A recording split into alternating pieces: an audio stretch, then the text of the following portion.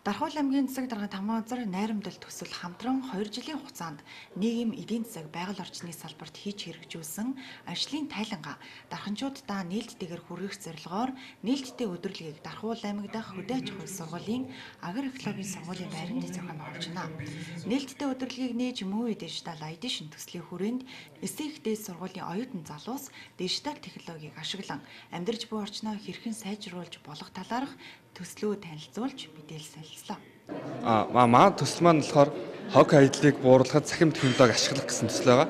А энүүгээр яг манай Монгол улсын яг давхир бүтээгдэхүүнийг а бид нэг хүлээж авах тийм одоо машин одоо оруулж ирж байгаа, нэвтрүүлж байгаа.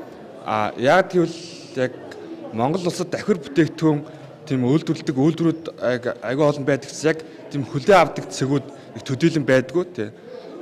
Тэг яг энэ тал дээр юу анхаарч ажиллаж байгаа.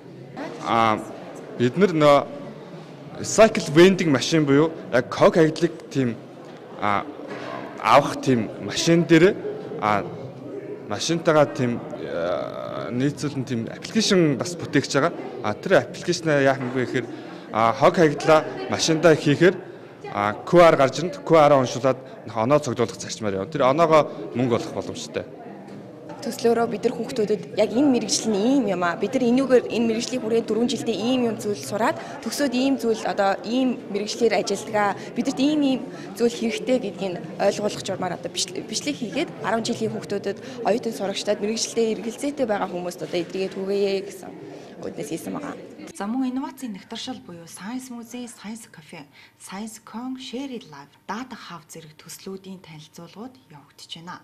Нээлттэй өдөрлөгөөр барилгын дулаан хамгаалтын үнэлгээний хэлбэр аргачлалын талаарх сургалтууд гарааны бизнес болон зорилттой төслүүдийн үзэсгэлэнгүүд дэлгэгдэжээ. Нээлттэй өдөрлөгөөр бид нар юу хийхийг зорж байна гэхээр зэрэг энэ 2 жилийн хугацаанд найрамдал төсөл Дархан уулан аймагт хэрэгжснээр нийгэм эдийн засаг байгаль орчны салбарт ямар ямар зүйлүүдийг хийчих вэ гэдгийг одоо нээлттэй дарханчуудаа хүргэхээр зорж байна. Уулан аймгийн засгийн хамгийн газартайгаа хамтраад бид нар дундын офс байгуулсан байгаа. За энэ дундын офсын офсоор бол бид нар 2 жилийн хугацаанд одоо салбар салбарын бизнесүүдийг чадахжуулах сургалтуудыг зохион байгуулсан. За өнөөдөр энэ нэг цаг цагаас бол яг барилгын салбарынхны бас чадварчуулах сургалт зохион байгуулалт нь энэ төв дээр.